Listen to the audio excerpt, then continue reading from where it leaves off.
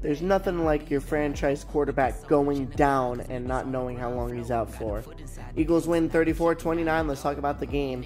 Um, it was back and forth pretty much. Uh, I liked how, how it went, except for the third quarter. The third quarter was kind of eh, because the Eagles kind of controlled the third quarter. Um, the fourth was kind of the same, but but the uh, the the the Packers scored their final touchdown in the third, obviously because they only scored three points in the uh, fourth, while the Eagles scored 10 points in the fourth, outscoring the Packers 10 to 3.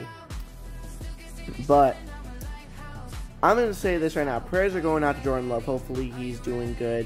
Malik Willis obviously only played one one snap, but I mean what if we have to see him for a little bit of the season? I mean, do we want to really see that? I don't know. But hopefully Jordan Love is okay and he'll be good for next week's game against the Colts. Now, this game, Malik Willis on that one snap. I don't know what the heck he was trying to do going down, but I don't think that was a game winning play whatsoever. I totally doubt that was a game winning play.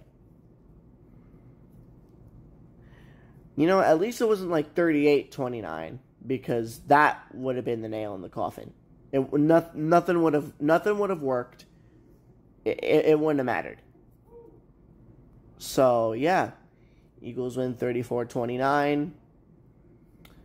Uh, do better, Packers.